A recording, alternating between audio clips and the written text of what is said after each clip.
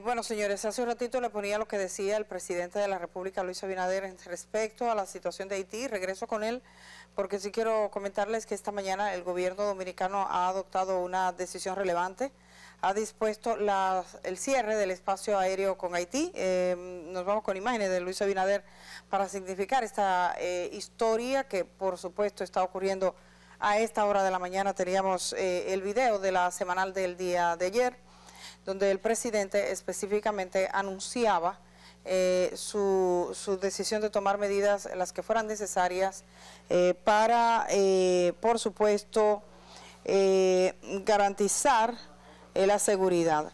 Aquí tenemos suspensión de las operaciones aéreas de pasajeros y cargas desde y hacia la República de Haití, considerando que eh, el artículo 1 sobre el convenio de aviación civil internacional reconoce que todo Estado tiene soberanía plena y exclusiva en el espacio aéreo situado sobre su territorio, y vienen todas las consideraciones del gobierno dominicano y, y dispone, dice lo siguiente, esta resolución dada a conocer hace un momento, suspende con efecto inmediato a partir de la fecha de la presente resolución las operaciones aéreas de pasajeros y carga desde y hacia la República de Haití.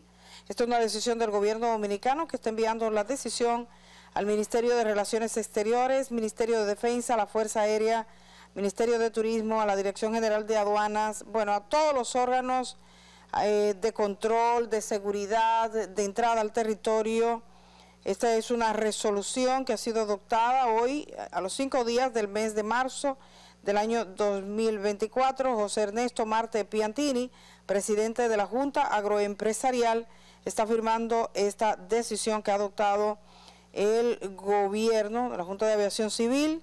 Emite esta resolución, es la 46-2024, en la que suspende todas las operaciones desde y hacia Haití. O sea que no habrá eh, ningún tipo de vuelo. Haití de hecho está muy difícil el ingreso a su territorio porque sabemos que está bajo ataque el aeropuerto, pero esta es una decisión que se está conociendo en este momento. Dicho esto, voy a la pausa última, señor director, y regreso de una vez.